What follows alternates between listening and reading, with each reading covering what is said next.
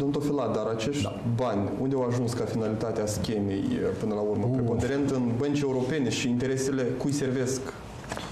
Foarte bună întrebare. Deci banii au ajuns uh, în peste 5.000 de companii din 96 de țări a lumii.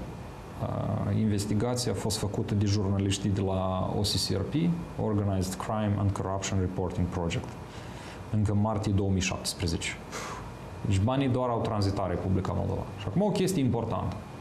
Când spun uh, reprezentanții SPCSB-ului sau Băncii Naționale sau orice alt demnitar de stat că Republica Moldova nu a avut de suferit de pe urma acestei scheme, vreau să le aduc aminte de așa un frumos amendament semnat de Alexandru Tănase la legea taxe de stat.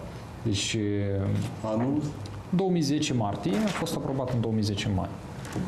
Bugetul Republicii Moldova, conform legislației în vigoare, urma să primească 3% din această sumă. Vorbim de 70 de miliarde.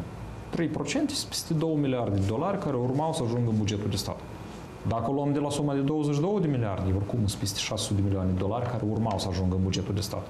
De ce asta nu s-a întâmplat? Uh, pentru că în uh, martie 2010 domnul Tănase a venit cu amendament la legea taxei de stat uh, sub pretextul că, iată, îngrădim dreptul la justiție și oamenii care se adresează în judecată să recupereze datorii urmează să plătească 3% din suma datoriei.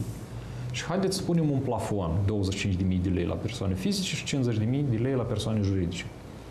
Acum, ca să înțelegem ce impact asta are și ce rol are în schema la undromatul rusesc, trebuie să înțelegem cum lucra această schemă.